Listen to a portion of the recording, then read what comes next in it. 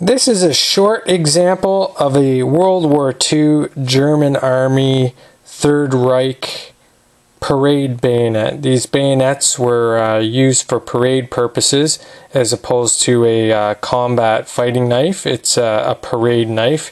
As you can see, it's got all nickel nickel fittings on it.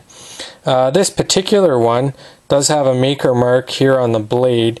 Uh, I'm not too familiar with this German maker. It appears to be a, a walking lion of some sort or a walking tiger. Uh, there are so many different uh, firms and manufacturers in Germany and Austria that were making uh, weapons during the war. It's it's pretty hard to keep track. But again, this is a short version, sometimes known, I believe, as a sergeant's model uh, parade bayonet for World War II German K98 Mauser rifle.